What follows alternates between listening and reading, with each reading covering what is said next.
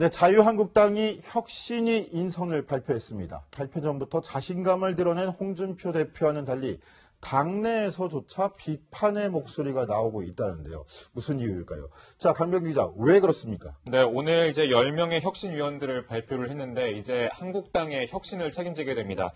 그래서 이제 명단을 공개했는데 면면을 보면 당외 인사들입니다. 그러니까 외부 인사들로 알려져 있는데 한번 그 중에서 좀 핵심적으로 눈에 띄는 인물들을 좀 살펴보면요. 우선 26살 여명 씨, 전 자유경제원 연구, 연구원 출신이고요. 최윤소 혁신위원으로 주목을 받았습니다. 그리고 오른쪽에 보면 이우승 전 서울지방 변호사회 부회장 있고 황성우 변호사가 있는데 특히 이우승 전 부회장은 홍준표 대표의 사법연수원 동기입니다. 14기고요. 그리고 전 홍준표 법률 대리인이라고 알려져 있는데 왜냐하면 경상남도의 자문 예, 법률 어, 대리인입니다. 자문 변호사입니다. 그렇기 때문에 송환종 리스트에도 뭐 홍준표 대표의 그런 법률 대리인 역할을 했다라고 알려져 있지만 정확히는 경상남도의 그 자문 변호사 출신이고요. 이 논란이 된 사람은 이제 황성욱 변호사인데 박근혜 전 대통령이 탄핵 심판 당시에 법률 대리인을 맡았던 사람입니다. 근데 뭐 지금은 유석춘 위원장의 말에 따르면은 지금은 이 법률 대리인 신분이 아니다라고 밝혔고 또 유석춘 위원장은 또 이렇게 얘기했습니다. 뭐 변호사는 살인자도 변호한다.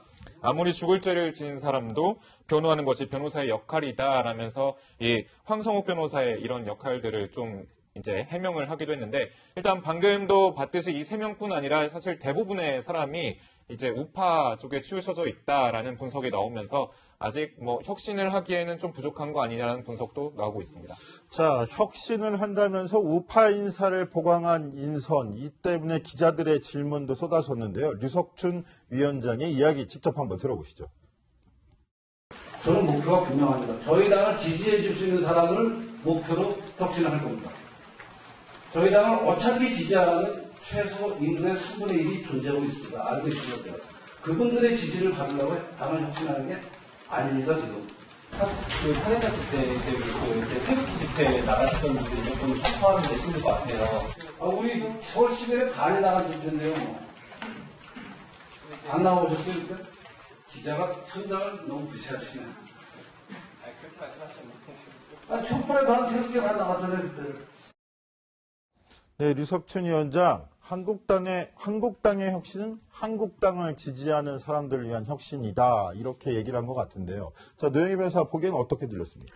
그러니까 저는 좀 궁금한 게 한국 당을 지지하는 사람들을 위한 혁신이라고 하면 그 혁신의 내용이 무엇인가 네. 이거에 대해서 제일 좀 궁금했는데 아무도 그 혁신의 내용이나 방향에 대해서 설명해 주지 않고 있습니다. 근데 일단은 뭐 혁신위원들이 모여서 그걸 논의해서 발표를 하겠죠. 예, 이제 그런 식으로 따지게 된다면은 본인들을 지지해주는 집토끼들은 무조건 확실히 잡겠다. 결과론적으로 100% 모두 우리를 좋아할 수는 없기 때문에 우리를 좋아하고 지지하는 사람들을 결속시켜서 우리가 나아갈 수 있는 그런 정치 방향에 어떤 그 지지층이라던가 이런 그 지분 을 우리가 지금 확보해 놓겠다 이런 취지를 제가 지금 들리고 있는데요.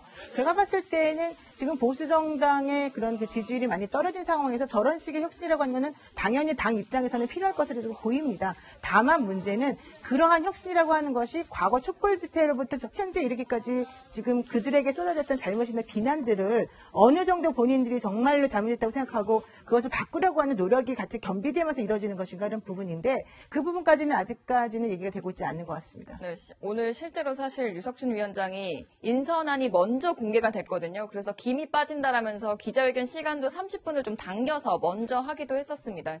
이 위원장이 언론에서 좀 비판적인 기사를 쓴 것에 대해서 좀 불편한 기색을 내비쳤었는데 특히 그 자신들이 뭐 극우 인사로 채웠다라고 하는데 보수 성향 인사로 채웠다고 하는데 예전에 자유한국당이 좌클릭을 하면 그게 개혁이고 혁신으로 비춰지는 것이 잘못된 거지 지금 이 보수 성향 안에서 보수 가치를 제대로 찾는 게 정말 제대로 된 혁신이다라고 이야기를 한 바 있습니다. 그리고 또 그 전에 본인이 좀 극우는 아니다라고 강하게 이야기를 했었는데요. 다만 지금 논란이 될 부분이 약간 지금 인사들의 구성이 뭐 탄핵 심판 때 변- 대리인을 했던 변호사도 있고 해서 탄핵에 대한 뭔가 불복의 메시지를 안고 시작하는 게 아니냐라는 우려가 조금 나오고 있습니다. 네, 최연소 혁신위원이다라는 타이틀을 단 여명 전 연구원도 박 전 대통령의 탄핵 판결 직후에 태극기 집회에 참석해 시민 불복종 운동을 전개해야 한다 이렇게 주장하기도 했었는데요. 당시 영상 준비해 왔습니다. 여러분, 우리는 어제의 판결을 이렇게 기억해야 합니다. 이것은 민주주의의 이름으로 행해진 비민주적 폭거입니다.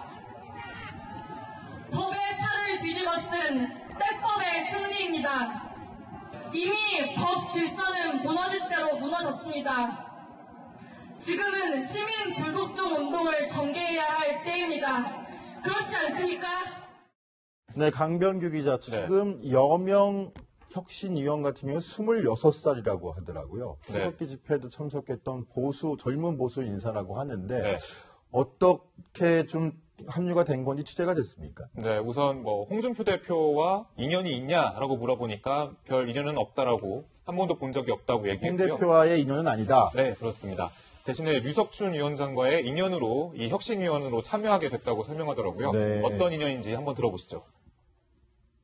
유석춘 위원장님과 좀 인연이 있으세요? 아, 제가 한국대학생 포럼이라는 보수 대학생 단체에 왔었거든요. 3년 동안. 보수 우파의 어쨌든 시니어 교수님이시잖아요. 그렇게 아는 사이였습니다. 저희 단체에서 강연도 해주시고. 그냥 보수가 보수 정당 다, 다울 수 있게 싸워달라라고 말씀하셨습니다.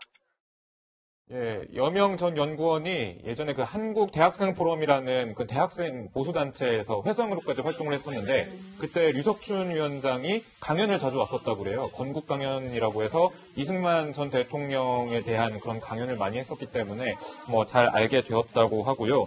그, 당, 그 당시 이제 강연에서 왜 보수가 보수를 부끄러워하는지 모르겠다. 왜 박정희 이승만을 떳떳하게 우리의 국부이자 대통령이라고 말하지 못하느냐. 왜 건국절을 48년, 1948년 8월 15일이라고 단정지어서 말하지 못하느냐. 라면서 상당히 쓴소리를 내뱉었고 그게 상당히 인상적이었다고 밝혀왔습니다. 노영희 변호사, 그 오늘 홍준표 대표가 오늘 혁신위원회 발표하기 전에 아침 회의에서 이런 얘기도 했어요. 혁신위원 중에 여러분 깜짝 놀랄 사람도 있다. 30년 동안 좌파에서 활동한 인물이 있다라고 소개를 하기도 했었는데요. 유석춘 위원장은 이번 혁신위원 인사의 꽃이라고 표현했는데 이 인물 누굽니까? 그 최혜범 아마도 그 사회민주주의 연대 사무처장을 말하는 것 같은데 네. 지금 이분이 이제 그 인터넷 매체 그 딴지일보의 그 개건 그 논필자로 아, 필진으로. 활동을 하기도 했었었죠.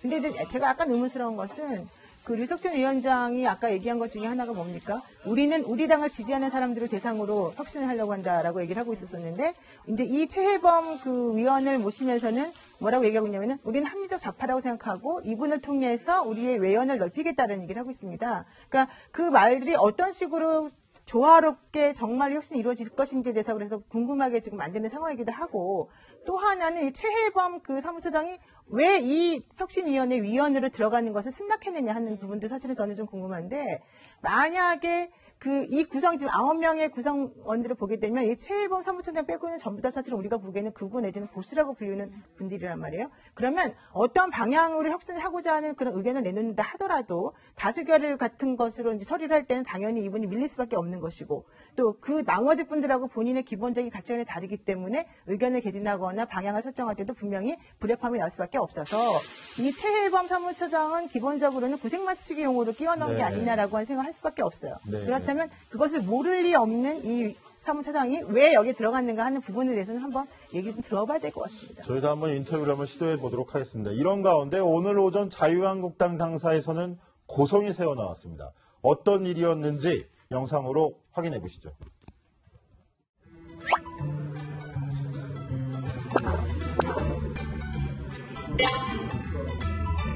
오늘 조금 시끄러웠던 건 저하고 장재훈 의원 두 사람이 좀 언쟁이 있었습니다. 또 전략 미스라는 이런 얘기를 보니까 제가 볼 때 철부지 같아서 그만 좀, 좀 빨리 끝내라. 그래서 문제가 있었습니다. 지도하고 다른 건 아무 문제가 있었습니다.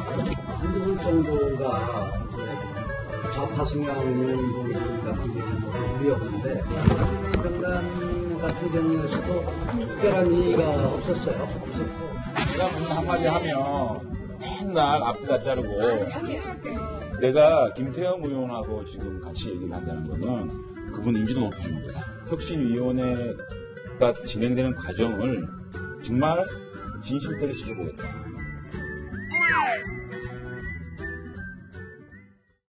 네, 바른정당으로 탈당했다 돌아온 복당파 장재원 의원과 친박계로 분류되는 김태훈 의원의 충돌이 있었던 건데요. 자, 의미하는 바도 좀 클 것 같은데 무슨 일 때문에 저렇게 얼굴을 붉혔습니까? 저희가 소개를 해드렸지만 이제 장재원 의원이 공식적인 SNS를 통해서 혁신이 유석춘 위원장에 대해서 너무 구구화하는 거 아니냐라는 우려를 펼쳤었고 복당한 거에 대해서 후회한다 이런 인터뷰를 해서 좀 당내에서 논란이 됐었습니다. 그런 발언에 대해서 아마 비공개 회의에서 장재원 의원이 왜 그런 발언을 하게 됐는지 좀 설명을 하게 된 것 같습니다. 근데 그 설명하는 과정에서 복당파들을 받을 때 뭐 특정 인물들은 받을 수 없다 뭐 이런 이야기가 오가면서 결국 황영철 바른정당 의원은 못 오지 않았느냐 전략적 미스였다 이런 표현을 쓰자 김태흠 최고위원이 아니 전략적 미스 이런 이야기 할 때가 아니지 않느냐며 좀 그만 이 그런 이야기는 그만했으면 좋겠다라고 하는 과정에서 좀 언쟁이 오간 건데요. 그 고성이 오가니까 이제 밖에 서 있던 기자들이 고성이 들리니까 뭐 이렇게 문 쪽으로 다가가는 모습들이 아까 영상에서 보였었습니다. 그리고